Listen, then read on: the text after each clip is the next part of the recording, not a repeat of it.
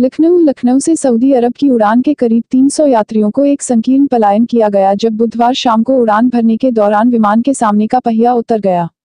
विमान अंततः रनवे के बीच में फंसे हो गए, जिससे अधिकारियों ने एयर ऑपरेशन के लिए हवाई अड्डे को बंद कर दिया।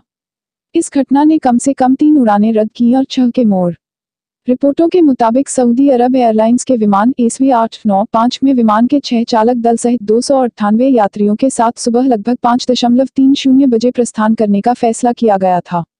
विमान ने रनवे पर टैक्स लगाने शुरू कर दिया जब पायलट को एक तकनीकी कठिनाई का पता चला और ले जाना बंद कर दिया। हालाँकि हवाई अड्डे अधिकारियों ने टिप्पणी करने से इनकार कर दिया। सूत्रों का कहना है कि यह समस्या विमान के सामने के पहिए में हुई थी, जब यह बंद हो गई थी। एयरबस 330 विमान लखनऊ हवाई अड्डे से संचालित सबसे भारी उड़ान मशीन में से एक था, बाद में रनवे में फंसे हो गया और इसे दूर नहीं किया जा सका। यात्रियों को अंततः रनवे पर विसर्जित कर दिया गया था और बसों के माध्यम से टर्मिनल पर वापस आ गया था।